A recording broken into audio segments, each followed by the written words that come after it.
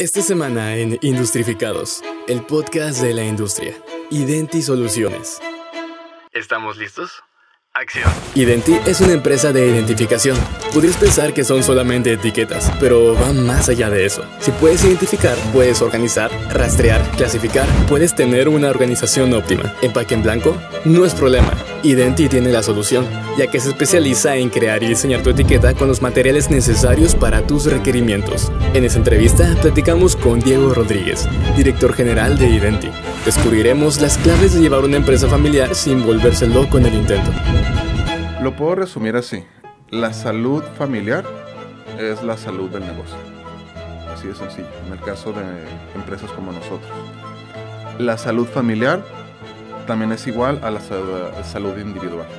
Si yo como persona no hago lo necesario, lo que necesito para estar bien eh, mental, emocional y físicamente, pues eventualmente las carencias que tengo la voy a poner al servicio de la dinámica entre la relación con quien sea. Bienvenidos queridos industrificados. Hoy tenemos a un súper invitado, Diego Rodríguez. Él viene de la empresa Identi Soluciones. Él es cofundador. Es una empresa que se dedica a hacer etiquetas y manejar cuestiones de label. Diego, bienvenido. Muchas gracias Miguel. Gracias por la invitación. A ver, digo, esta es la pregunta que siempre le hago a todos los invitados. Véndenos tu empresa en un minuto. Venga, mira. Decías Identi Soluciones. Eh, hicimos un rebranding por un tema importante para nosotros. Somos Identi, especialistas en identificación, a que nos dedicamos básicamente a identificar todo lo que sea identificable, pero de una manera muy especializada. Te comentaba anteriormente, ¿no? El mundo de las etiquetas es increíblemente amplio, desde una etiqueta blanca impresa en negro para una caja o para un envío de UPS, hasta una etiqueta que puede estar en un turbocargador de un carro y la etiqueta tiene que aguantar el rojo vivo y no despegarse. Aparte la impresión que trae esa etiqueta también tiene que aguantar ese tipo de condiciones. Y en Tijuana estamos en una situación privilegiada con la industria maquiladora, donde hay aeroespacial, médico, también está lo agrícola, eh, automotriz, vaya, es es muy amplio lo que tenemos, entonces nos dedicamos precisamente a lograr identificar el producto que necesites, de la manera en que lo necesites. Te pasaste por 10 segundos, pero Híjole, muy, muy buen pitch. Va, va, va. un pitch. Y digo, supongo que tienes, este, que hay otras empresas que hacen cosas similares. ¿Cuál es tu diferenciador? Nuestro diferenciador, mira, nos enfocamos en los nichos. Entonces, entre más complicado, más raro esté el, qué nicho? El nicho. Mm, el tema que te comentaba de los turbocargadores o, también en empresas que hacen radares para barcos. Mm. Entonces, se necesitan varios conocimientos técnicos, desde el producto y el performance. Entonces, y tener una red de aliados con los que podemos desarrollar el producto. Entonces, vaya, nuestro trabajo no nada más es, ten, aquí sale la etiqueta. Si, si nos permites, eh, analizamos eh, y proponemos una solución. Proponemos algo. ¿Cómo haces para ganarte la confianza de tus clientes? Digo, porque te ves muy joven. Claro. Este, y Gracias. no, pues este, este morro, sí, ¿qué onda, este güey sí. O sea, ¿cómo, ¿cómo, haces para que te tomen en serio? Mira... ¿O ya, ah, ya tienes algún background de... Claro. Estoy trabajando en esta área. Sí, tenemos 20 años en esto. Desde que comenzamos con pura etiqueta blanca para importación, que era algo muy sencillo a llegar al punto en el que también tuvimos que dividir nuestros productos por familias. Estamos en el adhesivo, en bolsas, en corrugado, en empaques plásticos, en cintas de impresión, en etiquetado. Y simplemente con el etiquetado, te digo, es muy amplio. Ese es por un lado eh, la reputación. No hemos necesitado marketing, o nuestro marketing es el trabajo. Mm. que también tiene que ver con las relaciones que hemos hecho a lo largo de este tiempo. Sí, fíjate, entré a tu página y está bien austera. sí, sí, la página es sencilla y la página es para tener una presencia. Claro. Porque luego nos topamos con que hay gente que nos necesita y no sabe que existimos. Y nosotros no, saben, no sabemos que existen, entonces alguien se va a meter a internet y va a poner algo y, oye, este, necesito etiqueta, necesito un adhesivo, necesito... Y podemos salir como una opción. Ahora, aparte, eh, nos hemos estructurado de una manera en la que somos tres personas, tres cabezas, mi hermana, eh, mi padre y yo. ¿Es negocio familiar? Sí, es negocio 100% familiar. ¿Y cómo hacen para no agarrarse a golpes? mira, ese es un tema súper interesante. Sí, porque la cultura laboral, de hecho, hay libros exclusivamente para negocios familiares. Claro. Lo puedo resumir así. La salud familiar es la salud del negocio. Así de sencillo, en el caso de empresas como nosotros. La salud familiar también es igual a la salud individual. Si yo como persona no hago lo necesario, lo que necesito para estar bien eh, mental, emocional y físicamente, pues eventualmente eh, las carencias que tengo la voy a poner al servicio de la dinámica entre la relación con quien sea. Y conmigo mismo, con mi familia, y estamos en conjunto en el trabajo, eh, pues se va a permear. Se va a meter como la humedad se puede meter a donde sea, ¿no? Entonces, ha sido una bandera personal. Eh, tengo background en psicología, estudié psicología, luego me especialicé en terapia gestalt, entonces tengo todo ese background al que no me dedico, pero me sirve increíble. Eh, ¿Qué perfil tan poco común en la sí. Mira, eh, mi señor padre... Digo, y, por qué, digo, por, por, qué etiquetas? ¿Por qué no abrí un consultorio de...? Ajá, pues la vida. Básicamente la vida, hemos sido una familia nómada. La devaluación del 94 marcó el, el, ahora dónde vamos, ahora qué hacemos. Y la empresa fue creada por eh, mi padre. Entonces, pues él comenzó a trabajar, a desarrollar y eventualmente, oye Diego, ayúdame con esas etiquetas. Y me metí. Y tiene unos, que será, 6, 7 años que mi hermana mm. eh, entró al negocio. Ella se encarga de la parte administrativa y financiera. Entonces, tu papá ha sido como un, ejemplo a seguir, un guía, ¿no? Para ti. Sí, sí, sí, ha sido un ejemplo a seguir de todo, ¿no? Desde lo que me encanta que hace hasta lo que digo, no, yo quiero hacerlo diferente. Entonces, hemos también, eh, entendimos que teníamos que pedir opiniones distintas. Alguien que pudiera ver de fuera lo que hacemos y no tanto al negocio, sino a cómo lo manejamos internamente. Entonces, con ese tipo de asesoría, en una ocasión alguien hizo un comentario, hizo una analogía que conmigo dio en el clavo.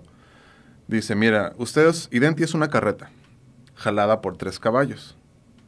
Nada más que cada caballo está jalando en una dirección distinta. Cada caballo va para donde quiere. Entonces, así la carreta, ¿a dónde va? Pues a ningún lugar en realidad. Eh, ahí fue donde entendí que los caballos tienen que ir hacia el mismo objetivo, los tres.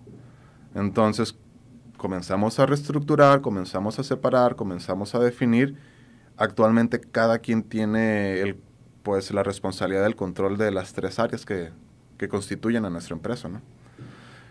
Eh, ha sido sumamente positivo porque cada quien nos podemos dedicar al 100 a la parte que nos toca y como la comunicación actualmente es buenísima, es como nos tumbamos de rollo, como, oye, pues a ver. ¿Cuál es tu posición ahorita? El título es director general. Entonces estoy enfocado sobre todo en la operación y en que las tres áreas funcionen de la mejor manera que se pueda. ¿Y cómo transmites la parte cultural hacia los demás empleados? Porque, digo, también siendo un negocio familiar, a veces el empleado dice, no, pues sé que no voy a ser director general, porque es el hijo de... Ajá, claro, claro. O sea, ¿cómo mantienes motivado a las personas para seguir trabajando? Ah, qué buena pregunta. Mira, tenemos implementada la nueva cultura organizacional desde hace dos meses, así fresquecito está el asunto. Y la idea fue como básicamente armar un enunciado en el que esto es la cultura organizacional, donde todos sabemos lo que tenemos que hacer y cómo lo tenemos que hacer. Somos personas profesionales, somos personas maduras que sabemos comunicarnos y que entendemos cuál es el objetivo en común. Y cada pieza o cada integrante entiende cómo lo que aporta ayuda a ese objetivo en común. Y literal es sentarnos y hablarlo, platicarlo. Y a ver, tu contabilidad, tu facturación, tu almacén. Entonces cada quien tiene una mucho mejor idea de lo que hace, ¿no? Eso también ha logrado que la operación funcione cada vez de manera más independiente y no tener que estar apagando fuegos y metiendo la mano. ¿Tú te metes a la parte de contratación? Sí, sí, sí, sí, también. Otra cosa que hemos entendido es que no podemos mm, hacer outsourcing de eso, ¿no? Igual ayúdame a conseguir gente, pero ya que llega la gente, si ahorita queremos cubrir una vacante, auxiliar de servicio al cliente, entonces el coordinador operativo y el coordinador de servicio al cliente eh, los van a entrevistar. Y esos, de los cinco candidatos, no, nos gustaron estos dos. Ah, ok, excelente. Entonces ahora sí ya pasan a entrevista conmigo, una vez que han sido seleccionados. ¿Y qué es lo primero que ves en ellos?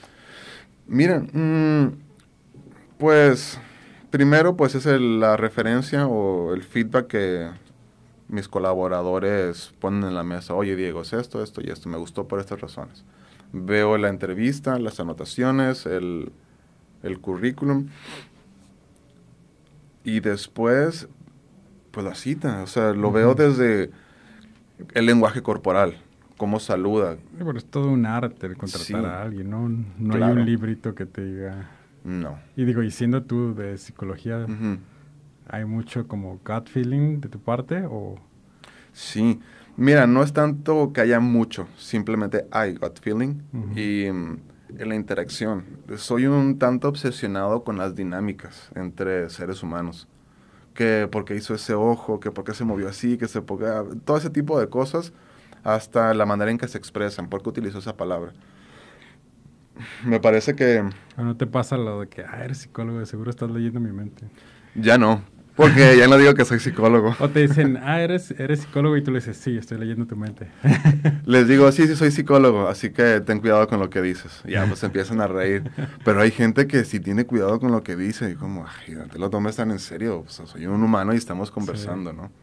Digo, mi pareja es psicóloga, ¿no? Así. Uh, viejo. Hermano, te entiendo. gracias, gracias. ¿Y te toca a ti despedir a, a personas también o lo delegas? Actualmente lo delego. Pero ya le llegaste a... Sí, sí, sí, sí llegué. Eh, no es algo que me guste hacer. Porque mira, al comunicarme, para mí lo mejor es ser directo no ponerle azúcar, florecitas. ¿Me puedes despedir a mí? Te puedo despedir, híjole, pues venga. a ver, hice algo que es imperdonable, ¿no? Venga, uh, sí, sí, estamos en tu oficina. Ajá. Y empezamos. ¿Qué, tal, Diego? Hola, Miguel, ¿cómo estás? ¿Para qué, me, ¿Para qué me ocupabas?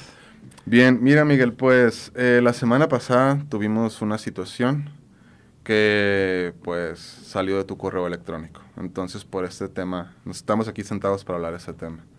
Y quiero saber, pues, qué pasó, porque hiciste lo que hiciste. Ayúdame a entender. No, pues, es que es lo que me dijeron y pues yo mandé la información. Como... Ok. Oye, ¿y no pensaste en las repercusiones que podía tener esa acción? Mm, pues que no me entrenaron en esa parte. No te entrenaron. Bueno, pues ahí tenemos un área de oportunidad que tendríamos que corregir en esta parte. Miren, cuando entraste, eh, hay un reglamento de trabajo interno. Aparte del reglamento, pues, de la ley federal, ¿no? Y lo firmaste. Tenemos un código de conducta, tenemos valores y el sentido común. Y eso es lo que más me preocupa. Digo, creo que el sentido común solo tiene de común eso, ¿no? Y me preocupa que sigas tomando ese tipo de decisiones. No, pero ya, no se preocupen, no va a volver a pasar. La cuestión es esta. Hay errores que ameritan una acta administrativa o una llamada de atención, pero hay errores que te cuestan la chamba. Y estamos hablando de ese tipo de error. ¿Y hay algo que pueda hacer para solucionarlo? Mm, pues sí, mira, eh, que nos firmes esto. Y aquí están estos documentos y llega a este acuerdo en este momento. fíjate que cada vez que me despiden no, no se siente... se sigue sintiendo igual de, de gacho. Sí, sí, sí, es desagradable. A ver, no, para contentarme, felicítame. Ahora soy otro empleado que se la rifó y tuvo buenos números, respondió bien a los clientes y hasta claro. ganó una cuenta, ¿no? Una cuenta nueva. Bien, para el trago amargo.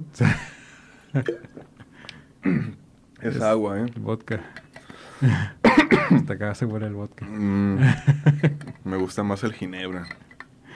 Entonces, sí, luego, estos son perfectos para ese tipo de cosas. ginebra y andar en el carro. Ah, no lo Nadie sospecha que, que, sano, ¿no? Claro, claro. tomando agua.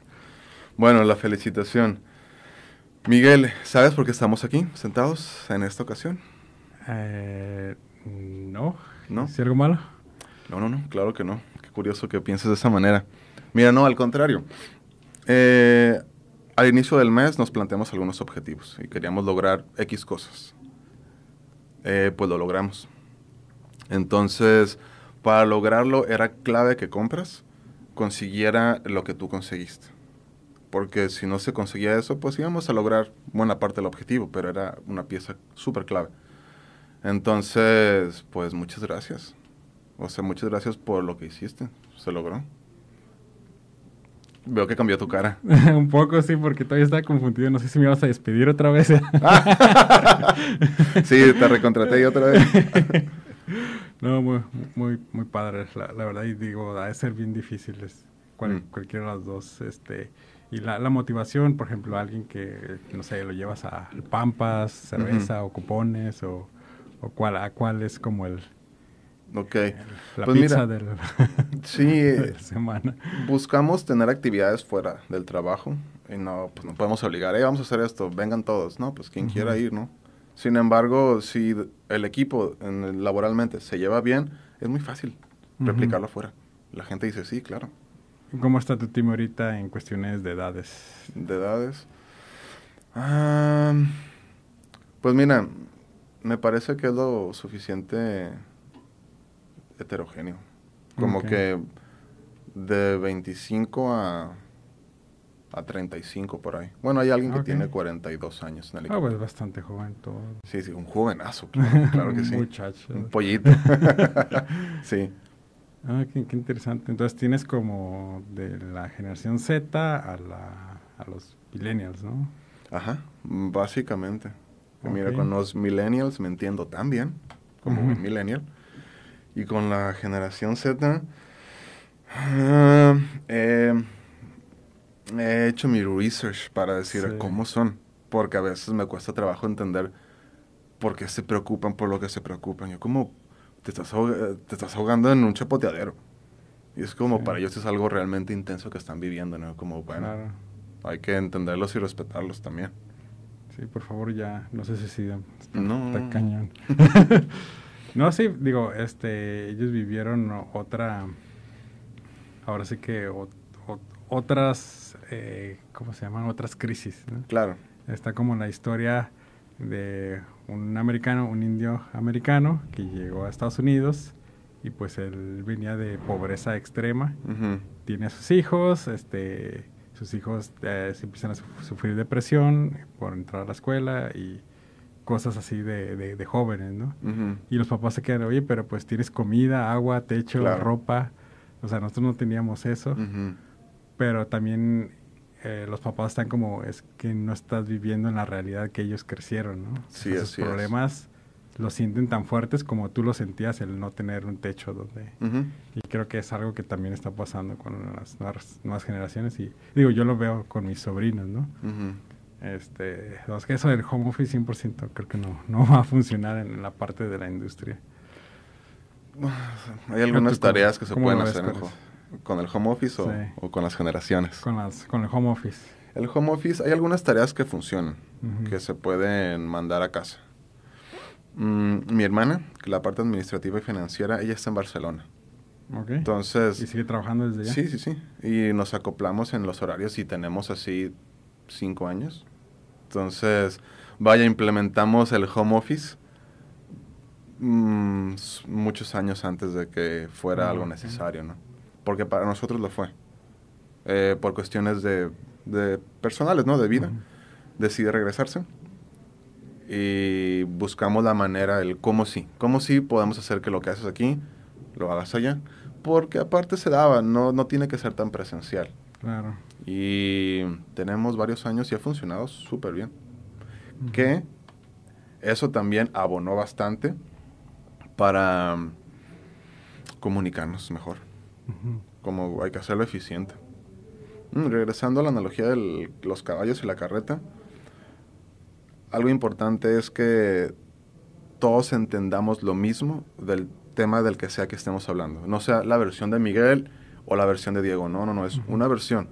Para no salir con, ah, es que yo entendí, ah, es que yo pensé, es Hay como... una verdad, ¿no? Ajá, como no, no, entiéndelo como lo estamos poniendo aquí, como no, no te pongas a pensar que era de otra manera. Como acordamos en este momento, eh, pues salimos de esta sesión y hacer lo que nos toca hacer, ¿no? Ujú. Pero pues por el camino que Sí. En conjunto decidimos que iba a ser. Me suena más como el, el- el número, un número 6 o 9, ¿no? Ajá, si lo dibujamos aquí, tú ves un 9, yo veo un 6, pero no, no puedes decirte, ah, es que tenemos diferente perspectiva. O sea, no, alguien escribió ese número y lo escribió por algo, ¿no? Claro. Entonces, buscar como la, la verdad, cuál, cuál es, tal vez Sí. si era 9 y era 9 de, lotes de producción que tienen que hacerse. Ujú. y, y no, y no sé. tampoco me puedo decir, así como, ah, es que mi perspectiva dice que Claro. porque pues la maquila es como, eso no es, y, y se Sí. acabó, ¿no? Y eso me, me hizo recordar algo, lo que comentas. Eh, los números. Una compradora que teníamos eh, pidió dos masters de un papel. Y es un papel que es poco común, entonces... am, hubo cambios en el sistema del proveedor y ella al poner dos pidió dos rollos, no dos masters. Y llegaron y es como, güey, o sea, no mames. Voy a producir dos rollos, pero esto va a alcanzar para una semana y yo le iba a entregar a mi cliente para un mes. Y en lo que me llega lo demás, no va a alcanzar el tiempo. De ahí también las relaciones, las alianzas y sabemos que, oye, va- alguien me puede dar un sustituto. Se resolvió. Y fue un error que se admeritó, una llamada de atención, una acta administrativa, pero pues la persona continuó trabajando. Y ahí también está la parte de la perspectiva. Es que vi un 2 y hice lo mismo de siempre. Oye, Ujú. pon un poquito más de atención en lo que haces. Porque si sabes que el sistema cambió y tú eres la persona que constantemente está accediendo a ese, a ese sistema, ¿cómo es que no te fijaste? Porque a veces se automatizan, ¿no? Es como, Ajá, a veces automatiza. Y esos errores o esos detalles nos ayudan a ver algunos puntos ciegos que tenemos en nuestros procesos. una amiga tuvo un error así con una de sus compradoras, este, en vez de enviar un producto por tierra, lo envió por aire. Y de- en, vez de, en vez de costarle 5 mil dólares, le salió como 100 mil dólares el- Ajá. el envío. Y es como dinero que no, no se refleja en nada, ¿no? Ajá. Más que en pérdida. Sí, eh, toda la ganancia que ibas a tener, Y ahorita, de, de salud, ¿cómo anda tu empresa? salud física, económica, Salud, emocional. financi- Ajá, fi- financiera, ventas, este, a ti el COVID te pegó, no te pegó. Fue una buen, buena época, mala época. Mira, el COVID, qué buen tema. Fue una época, los primeros meses fue complicado. Ujú. Eh, porque la tendencia iba así, ¿no? Como las ventas, los envíos, las facturas, es como si esa tendencia sigue, vamos a estar en aprietos, pero afortunadamente no. Eh, fu- fuimos considerados, ah, ¿cuál era la palabra? Tenemos que tener una carta, esenciales. Ok. Entonces, No precisam- cerraron. No cerramos. Precisamente por los fa- las, las industrias en las que trabajamos eran consideradas esenciales y nosotros éramos parte de su cadena de suministro. Entonces Son ahí vamos en médicas, el, supongo. eh, sí, eh, una de ellas. Entonces ahí vamos en el mismo barco, como una vez que pasamos ese bache, mm, los problemas comenzaron a ser otros. Eh, los horarios de entrega, las restricciones de salud, eh, los envíos de materia prima, de, de producto terminado, todo comenzó a ser más caro, comenzó la escasez. Y actualmente seguimos con ese tema, ¿no? Que la guerra, que el petróleo, que el desabasto. Entonces, como que la recesión en Estados Unidos, todo lo que es global y que está fuera de tu control, es lo que está impactando más en este momento. Y está habiendo una contracción en, en las ventas. que la gente no, las, eh, algunas empresas no están comprando igual que antes. Y vamos, ¿qué está pasando? ¿Le estás comprando a alguien más? No, es que aquí tengo el producto. No, no estamos teniendo la producción de antes. Es como, ok. Pero, pero ¿qué industria es, es esa la que has visto que ha bajado más? La médica no es. No, la, no, la médica, ese es otro detalle del COVID. Si te puedes meter a lo médico, te puedes meter a, los alimentos, mira, todos tenemos que comer siempre, siempre. Todos tenemos que cuidar nuestra salud siempre. Entonces, métanse ahí. No, son industrias fáciles. Y necesitas ser un jugador con suficientes herramientas y muy buena calidad. No nada más en tu producto, sino en tu propia operación. Porque son increíblemente piquis. Y está bien. Imagino. Si fuera sencillo, no sería un negocio atractivo. Entonces no lo es. No habría tan poquitas empresas de tu giro, ¿no? Entonces, pues como lo que nos gusta es complicarnos la vida con los nichos, pues estamos en el lugar adecuado. Y fuera del trabajo, ¿qué es lo que te despresuriza? Uf, eh, mira, me gusta hacer cosas intensas en cuanto al esfuerzo físico o la entrega. ¿Snowboard o alpinismo? Eh, mira, actualmente estoy entrenando Muay Thai. Tengo ya cinco años en ah, eso. Entonces, eh, me encanta. Hay días en los que salgo bastante golpeado, hay días en los que, pues, le toca al otro, ¿no? Sí, fíjate que yo estoy aprendiendo un poco de eso y se siente un, un montón de testosterona que sale de tu cuerpo y llegas a la casa así como que... Sí, sí, sí. Díganme algo. que mira, oye, eso es bien interesante, porque cuando tenía como ya dos años entrenando, era de esas rachas en las que digo, vida, ¿me estás poniendo a prueba o de qué se trata? O sea, porque una tras otra y algo clave en las artes marciales es eh, el autocontrol. como, ¿Por qué te bulleaban a ti mucho? No, no, no, pero alguien en la calle, algún güey que se metió y que mentaba a la madre y que se bajan del carro. Una vez fue de, se bajó del carro, pero es como a los perros, que abres la reja y está la reja y te está ladrando. Sí. Abres la puerta y como, oh, shit, como, ¿qué hago? Agárrenme. Sí, sí, sí. Entonces dije, bueno, si se sale del confort de su carro y se acerca, como, gracias, porque me das la justificación perfecta. Pero si no, no, pero, en tu caso sí sería como un crimen, ¿no? Porque tienes entrenamiento y... Pues espero que no lo sea. Mira, si me toca a alguien... si, se entera la policía de que, ah, esta persona tiene entrenamiento en estas artes, es como... Estás usando armas blancas, ¿no? Tus puños. Sí. Suena algo como cliché, pero, pero sí te, lo pueden considerar. Pues tengo una idea de qué haría. O sea, tengo una idea de qué golpes y qué combinación haría. Someterlo. No, no, porque el Muay Thai no es para someter. El Muay mm. Thai es para, es muy ofensivo. Es completamente ofensivo y es para lastimar. Entonces, eh, pues haría unas cosas que lo inhabilitan y es como de, si te levantas es como, güey, ¿quieres más? pues bueno, le damos, ¿no? Y la idea es como, no, ya no quiero, ah, ok, ahí muere. Y ya no estás jodiendo. ¿A ti te gustan las películas como la de Ong Bak? De un tailandés que es como el Jet Li de Tailandia. Ok, no, no lo vi. ¿No los ubicas? Mm, bueno, No, no tanto. Ese tipo de... Ah, que... No. Películas de acción sí, pero... No soy muy aficionado al cine. Lo disfruto, pero... pero, digo, tienes como películas favoritas, Favoritas, sí, sí, sí. Hay una que identifiques como tu recorrido de vida de tu empresa con Mira, hay una, pero no, no tiene que ver con la empresa. Estaba muy joven. Y es este, se llama Los amantes del círculo polar, de Julio Medem, un español. Ah, muy romántica, no de romántico, una película romántica clásica, de, ah, te voy a conquistar, sino de, pues, personas con crisis existenciales, básicamente. Y yo de morrito. Como buen psicólogo. Sí, sí, sí. Y pues de joven, de morrito, como y con mis crisis existenciales y me sentí identificado con esa, peli eh, con esa película. Y durante un tiempo, ¿no? Era como, wow, que no, me, no llegaba una película que me moviera más que eso. Pero de ahí en fuera, mira, mientras me entretenga y no me aburra viéndola, con eso tengo. Que luego me aburro. Como, güey, dos horas aquí, como, ya, ¿no? Eh, digo, supongo que tú tienes tus amigos y también tienes, supongo que perteneces a al club de Coparmex. ¿Tienes algunos otros clubs? Pues, como clubs tal cual, mira, tenía, eh, armé con un amigo un club ciclista. Mm. Se llama Velocet. Y la característica, nos autodenominamos kamikazes urbanos. Sí, porque eh, pedaleamos con bicicletas de piñón fijo, que son las de velódromo. Un solo cambio, no tienen frenos y mientras la llanta de atrás gire, los pedales siempre giran. No es como una bicicleta normal que, ah, me cansé, ya no voy a pedalear. No, eso no sucede. Nunca. Y si te caes tienes que gritar kamikaze. ¿no? Pues, y esperar no morir en el intento. Ya te pones tu bandita y...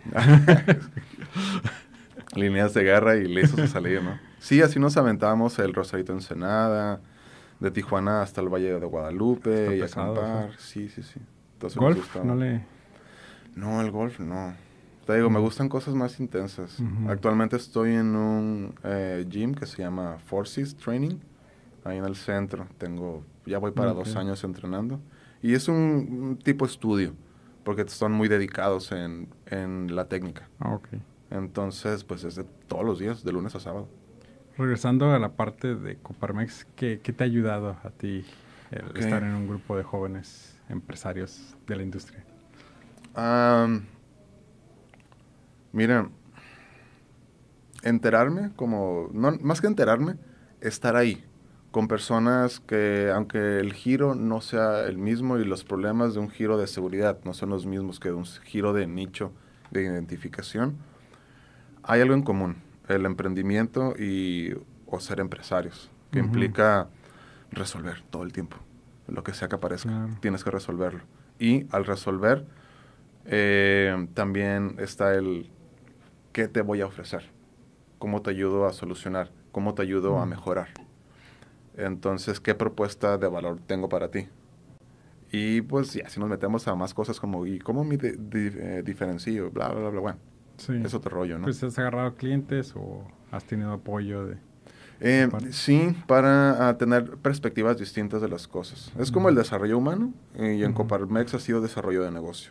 En el sentido de que, pues, qué relación de negocio que termina en un servicio, en una factura y en ingreso, hasta el desarrollo de negocio en, ok, tu experiencia me ayuda a entender cómo puedo resolver otras cosas.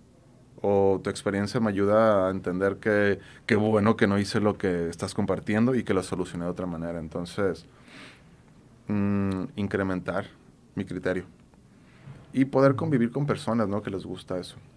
Claro, digo porque supongo que con tus amigos ciclistas o, o, bueno, amigos de la escuela, pues es difícil platicar de... Sí, Y que sientas como esa empatía de que, sí. sí, yo también le tuve que pagar el SAT tanto. Sí, sí, sí. Mira, hace mucho que no me pasa, pero llegó a pasarme de, ay, es que tu papá es el dueño de eso. Y es como, ok, ¿Crees no. que te discriminaba? Mm, pues me ninguneaba, ¿no? Es como, ay, ¿tú qué? ¿Tú qué haces ahí? Es como, qué fácil. Y como, no tienen ni puta idea de lo que es estar sentado donde estoy sentado. Y la responsabilidad que implica.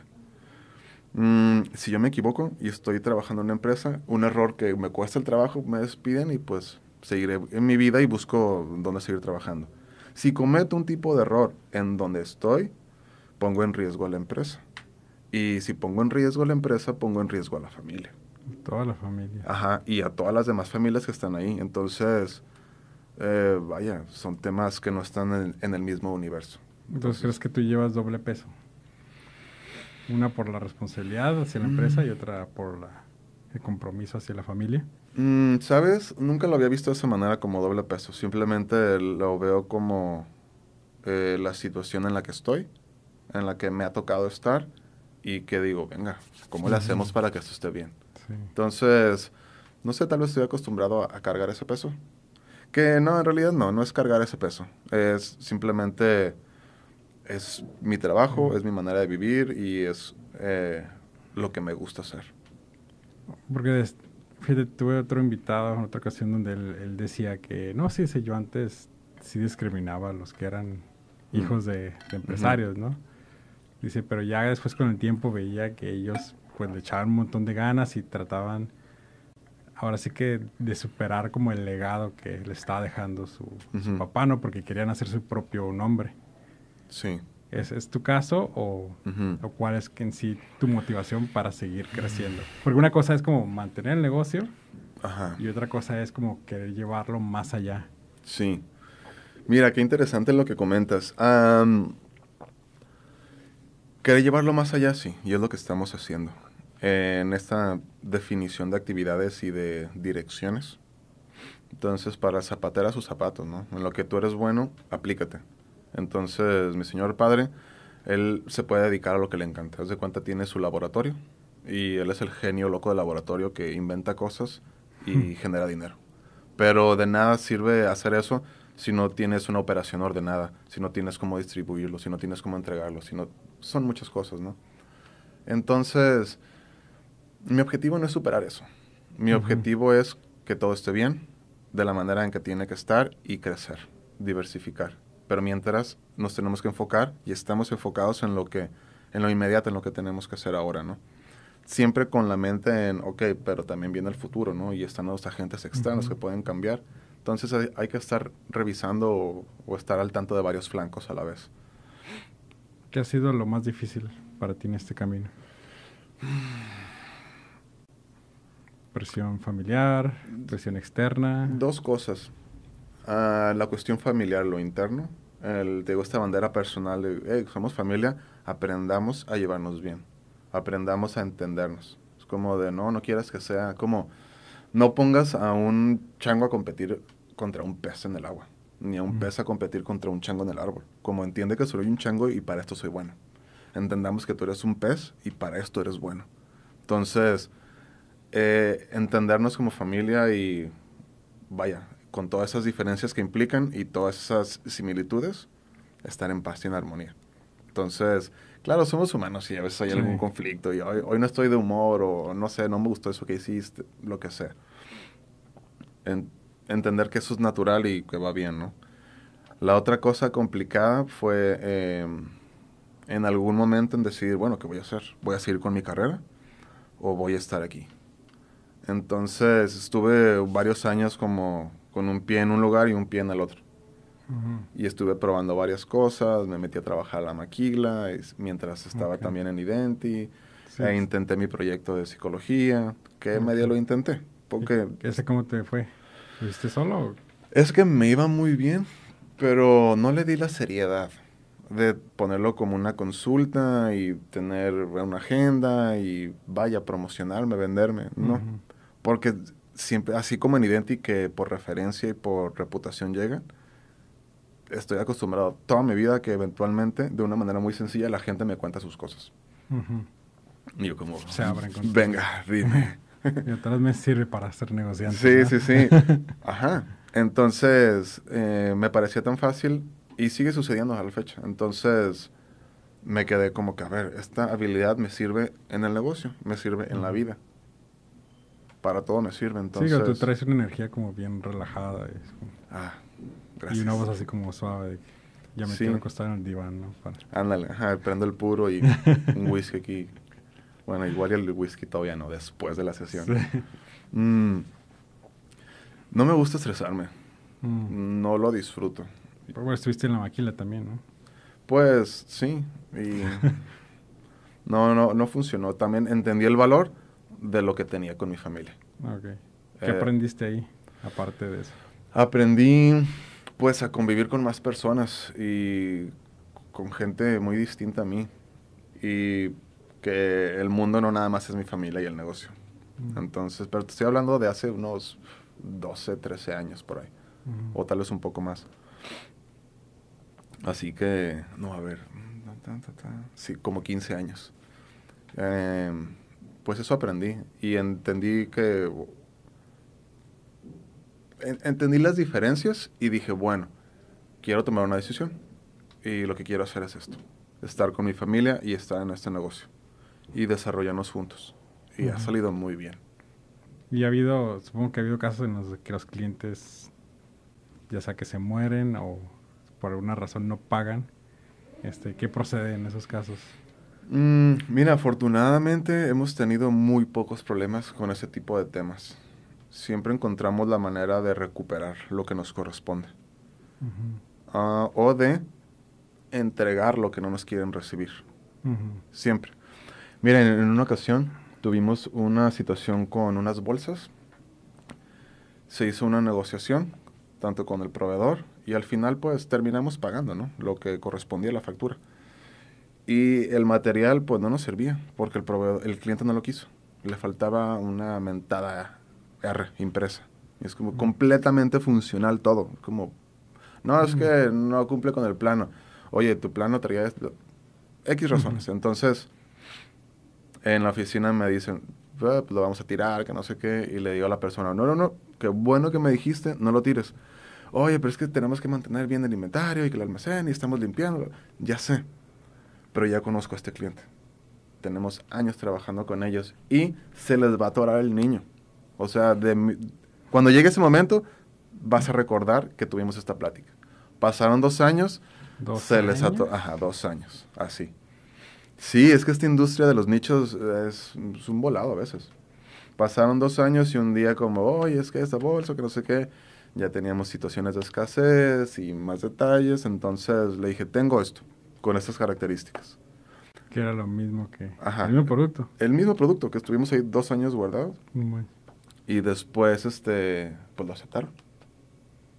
Es como... ¿Y al mismo precio o, o poquito la uña? No, no, no. Mira, al precio actual. O sea que sí hubo... Hay cambios. Hay, cambios, ajá. Pero no, no, no. creemos firmemente en que las cosas tienen que ser justas. Como tenemos valores. Y vaya, el valor no es el que digo que tengo. El valor es el que constantemente hago. Si me porto... Si yo digo que soy puntual, pero lo normal es que no llego puntual, no tengo el valor de la puntualidad. Entonces, eh, no, no le voy a clavar el diente. Es como, no, pues aquí está, ya me costó financieramente y tenerlo ahí, no se movió y se pagó, entonces como, ahí te va. O sea, al final de cuentas, nuestra misión como negocio tiene que ver también con la, la cadena de suministro de nuestros proveedores. Y eso estaba en riesgo. Y es como, tengo este comodín, que donde lo quieres, pero tiene estas características pum, pum, pum, desviaciones. Lo que no quisieron hacer es como, ah, ahora sí, ¿verdad? Porque traes el niño atorado. No hay pedo, ahí está. Y todos contentos. Entonces, como, bueno, a veces pasan esas cosas. Y fíjate qué, interesante lo que dices, porque como, como vendedor, o sea, no te puedes enojar con, con los clientes. Digo, te molestas, pero tienes que buscar como una solución.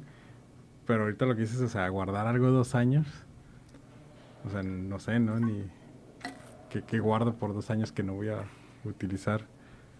Tal vez mi PlayStation viejito, pero...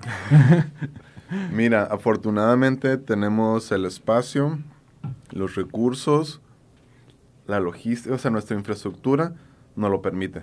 Tal vez antes no, ahora sí. ¿Cuál es el producto más raro, más raro que tienes? Mm, no diría que raro, pero en el tema de los adhesivos, como son para industrias, eh, la industria automotriz, las regulaciones y las documentaciones es una pesadilla. Pero es en serio, es una pesadilla. Y si el proveedor no te resuelve rápido, es como la pesadilla es el doble al cuadrado. Entonces es como... y en cuanto a los ribbons, pues la especialidad también que dices, Ay, es un ribbon, una cinta negra, es como, ajá, pero va a imprimir en las condiciones, en el material que requieres específicamente y va a aguantar las condiciones específicas que necesites que aguante durante cinco años. Que una etiqueta que trae una identificación en el radar y estás en el medio del barco y algo pasó y es como que la aseguranza hay que revisar y qué pasó y la etiqueta falló. Es como, mm, no, no es una posibilidad, no, no es un privilegio que tengamos, como tiene que funcionar, sí o sí. Hay contratos, también la etiqueta que te comentaba para el turbocargador, o sea, hay que hacer pruebas y pruebas y pruebas hasta llegar con el material en el que, ok, este aguantó todas las condiciones. Y luego se les ocurre que tiene que aguantar X cantidad de grados Fahrenheit o centígrados. Ah, todo funcionó y de repente, pum, te lo ponen el doble. Oye, es que no está funcionando tu producto pues es que cambiaste las condiciones y el producto que te di, ajá, es que sirve para esto. ahora quieres que aguante esto, pues va, vamos a desarrollar otro producto. Entonces es la especialidad o la Mm. especialización de las cosas. Ya entre más específico y entre los specs sean más chiquitos o más grandes, también el costo y Sí. los lead times van cambiando. Nosotros tenemos en el trabajo una, este, hay una persona que hace un sellado a los, a los chips y lo tiene que hacer a mano. Y no se puede, no se puede hacer en una máquina porque la tinta es, es especial. Y yo dice, Ujú. pues, ¿qué tan especial es? Mm. Dice, ah, pues aguanta el espacio exterior, ¿no? Mm. Porque va para... Ajá. Y, ah, Exacto. ok, está bien, me callo entonces.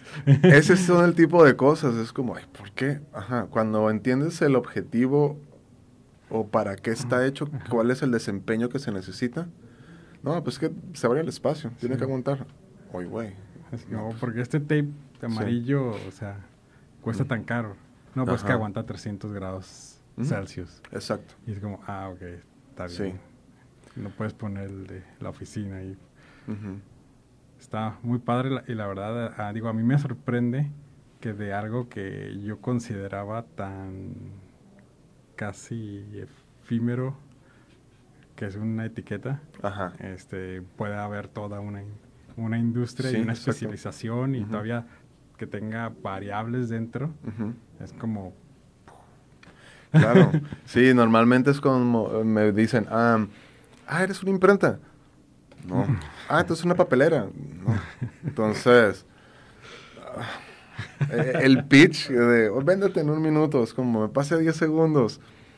Creo que es la primera vez en mi vida que en un minuto te digo qué hacemos, o que le digo a alguien qué hacemos, ¿no? Porque no es como, ah, cinco palabras y ya definí. Pues estaría No. bien, ¿no? no, no es tan sencillo. ¿no? Lo más resumido que podemos decirlo ahora es Identi, especialistas en identificación. Y detrás de eso, enorme, ¿no? Un universo enorme. ¿Y qué sigue? ¿Qué sigue? Uf, qué buena pregunta. Mm, lo que sigue, pues, tenemos proyectos internos en la estructuración del negocio. Pudimos ponerle una estructura que nos está funcionando genial en la operación, replicarlo en, sobre todo en el área de desarrollo, que es el área más creativa, más ambigua. ¿Dónde está tu papá? Sí. De hecho, me lo imagino así como un genio loco ahí haciendo Así, mezclas. y greñudo. Y No, Einstein. Es una persona, pues, tranquila, formal. Eh, entonces, ¿qué sigue? Darle una estructura al legado. Mm. Entonces, Que pueda vivir sin ustedes también, ¿no? sí, exacto. Desarro eh, la operación llega, vive casi por sí misma. Administración y finanzas, pues, está en esos procesos. Pero ya también puede funcionar con... Mi hermana está muy metida. Pero vaya, si se va un mes, mm, las cosas no se caen. Pero si tú te vas un mes. Si yo me voy un mes, las cosas tampoco se caen. Ah, ok. Pero si desarrollo se va un mes, entonces digo, bueno, oye, no, espérate, no te vayas tanto. Am, y es lo que sigue. Mm, Estructurarlo de la manera en la que podamos hacer que se replique. mm. Y vaya, una vez logrando eso es como, ah, se lo- ese es mi objetivo, como director general y también como Diego. Ese es como el objetivo principal. Eh, estructurar todo. Y una vez que estructurado, pues planeamos, ejecutamos y pues ajustamos. Excelente. Entonces estamos en la ejecución. Perfecto. Pues Diego, ¿algún mensaje que quieras dar antes de terminar? ¿Algún mensaje? Igual si no hay mensaje está bien, no, no pasa Sí. nada. Pues a todas las personas que estamos en el- algún tipo de emprendimiento, que lo sigamos haciendo y que los obstáculos pues siempre están, ¿no? Y de eso se trata, de resolver, darle la vuelta, de brincar y hacer comunidad. Creo que eso es increíblemente importante y eso me gusta mucho de, lo que está sucediendo en la Comisión de Empresarios Jóvenes, hacer comunidad. Entonces, para aquellos que vean esto, pues una invitación, ¿no? A que también se unan y que convivamos, que hagamos cosas. Las relaciones son, pues, la base de casi todo. Entonces, pues eso, creo que ese es, ese es mi mensaje. Perfecto. Pues muchísimas gracias a todos. Gracias a todos.